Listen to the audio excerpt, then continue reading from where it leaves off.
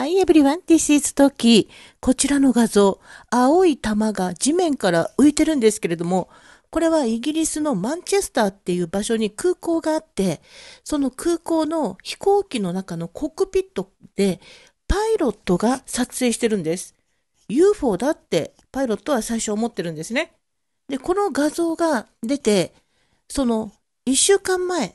今は2024年11月30日ですが、この1週間前にイギリス各地で結構な数の UFO の目撃があったようなんですね。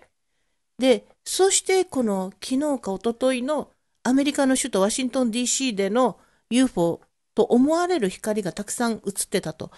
何か来てるんではないかと言われてるんですね。これはイギリスのマンチェスター空港のコックピット内からの目撃情報だそうです。まあ、イギリスもこういうのがあるんですが、実は他の国、メキシコです。メキシコでこの中央の月のようなぼんやりした球体がありますね。これがゆっくりと下に下がっていくんですね。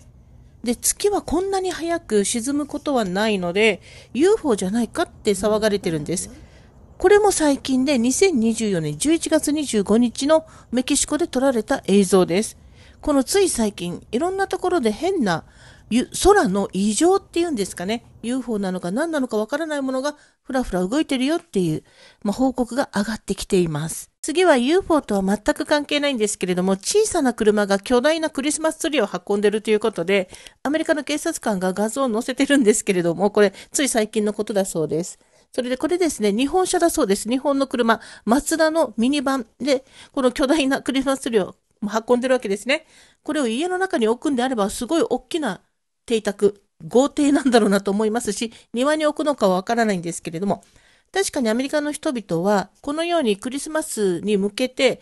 新しい木を買ってきて、で、飾るということをよくやるんですね。もちろんその、木も大変なので暖炉にくべたりもする最後はですね、やったりもするんですけれども、まあ、作り物のクリスマスツリーもどんどん流行ってはきてますけれども、陶器のアメリカのおじさんがですね、一度自分の庭、ちょっと大きめの庭があったので、夏ぐらいから木をちょっとずつ育っていってクリスマスツリーが胸のあたりの高さまでなった時に大きな看板を出してですね、クリスマスツリーセールしてますよ、売ってますよってやったら、結構な数の人が来て、買ってってお金になったみたいな話があるので、その自分の家でですね、いくつかクリスマスツリーを育てて売るっていう人はたまにいますね。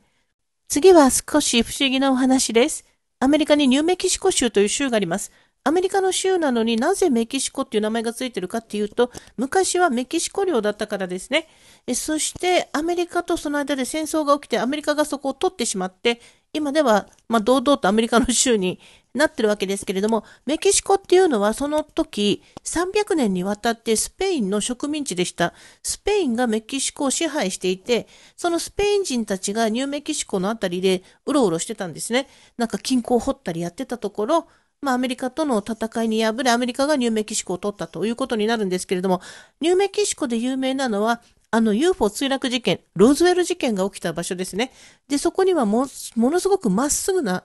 道路があるんですって。ベッカーフラッツっていう、まあ、ニックネームで呼ばれている道路らしいんですけれども、まっすぐ平坦な道路があって、奇妙な出来事が起こることで有名らしいですね。で、メキシコの麻薬カルテル、麻薬密輸業者がですね、この道路に飛行機を着陸させたり、小型機、セスナ機をまっすぐの道路って滑走路になるので、そこに下ろして麻薬をどんどんそこから入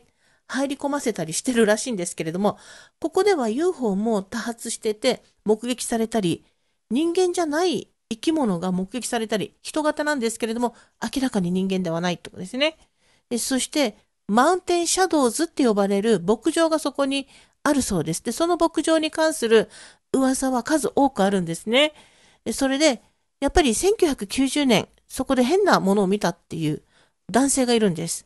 夜9時頃、ここを車で通ってたらしいんですけれども、な、なんとですね、靴箱、彼が言う靴箱がどれだけの大きさかわからないんですけれども、靴箱ほどの大きさのアリ、アリですね。アリが道路に飛び出してきたっていうんですね。明らかにアリだったっていうんですね。アリってもうとってもちっちゃいものがうろうろしてるぐらいなものなのに、靴箱ぐらいの大きさだったっていうんですよね。足が6本、体の節が3つに分かれて触覚があり、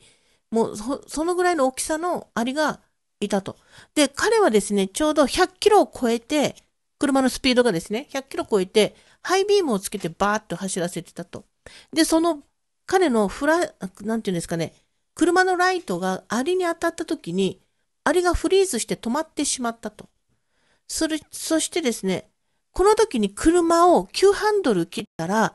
その道路のそばにガガガッと車が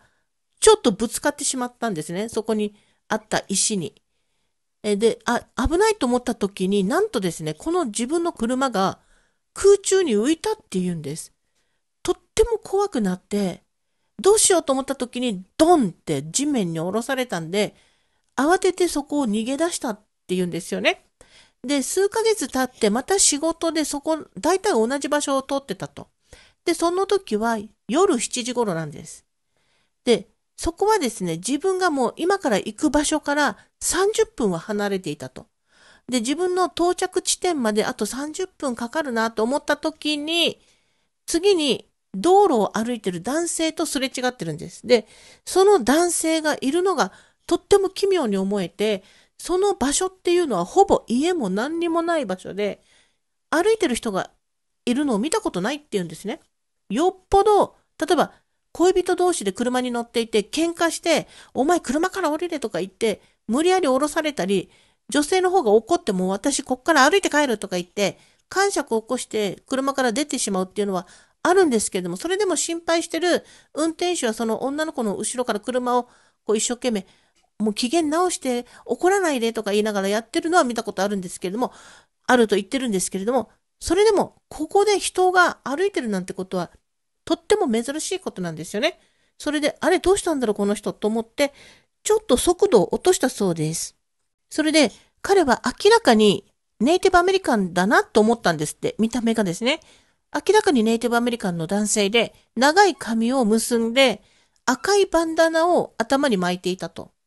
それで、ジーンズと青い T シャツを着て、それで昔の古いアメリカ陸軍のフィールドジャケットをかぶって、それで歩いてると。おい、大丈夫かってちょっと言ってるんですよね。あれおかしいなと思いながら。でもその男性は何にも反応を示さず、まっすぐ前を向いて歩いているので、ちょっと怖くなってもう声をかけるのをやめて、そのまま自分の到着地点に行ったんです。結局30分後に自分の仕事場、仕事、そこから荷物をまた運ばなければいけないっていうところに到着したんですよね。それで荷物を受け取る倉庫に向かってる時、メインストリート、街のメインストリートは車を走らせなきゃいけないんですけれども、制限速度がかかってるわけです。そこは人々がいろんな仕事をしてる場所だから、そんなに飛ばすなということで、ものすごくゆっくり、40キロぐらい、まあ、30キロぐらいで、ゆっくりゆっくり走らせてたら、なんと、さっき、なんか、通り過ぎた男、ネイティブアメリカンの男性がいたんですって、その街に。全く同じ格好して、この古い陸軍のジャケットをかぶり、頭にはバンダナしてジーンズで、全く同じ男性がそこにいたと。えって見たら、なんとこの時、その男性は彼を見つめ返して、じっと見つめてきたそうです。で、わーっと思って、絶対に人間の足で車と同じ速度で歩けるわけはないので、しかもその時怖くなったからスピードアップしてその街に到着してるんですよね。それなのにどうやって瞬間移動したとしか思えないと。で、じーって見つめられて怖くなって、もうゆっくりそこからふっといなくなったっていうんですけれども、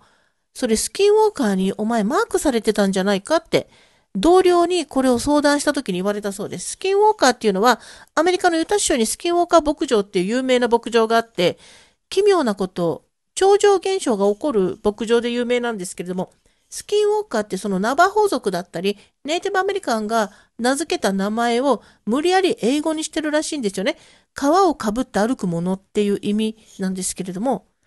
これは、その、いろんなものにシフトチェンジシェイプシフトしていくって言われてるんですよね。つまり、狼に化けたり、